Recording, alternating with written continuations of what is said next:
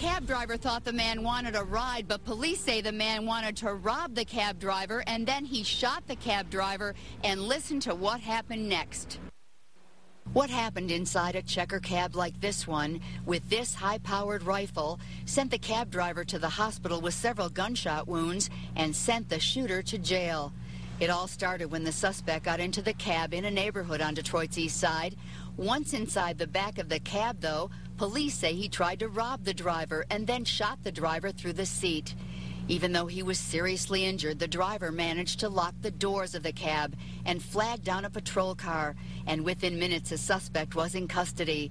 Police say they believe he's done this before. The charge could be assault with intent to murder. Now, the suspect's being held here at the Eastern District in the lockup pending an arraignment that could happen tomorrow or over the weekend. In Detroit, I'm Cheryl Choden, Channel 7 Action News.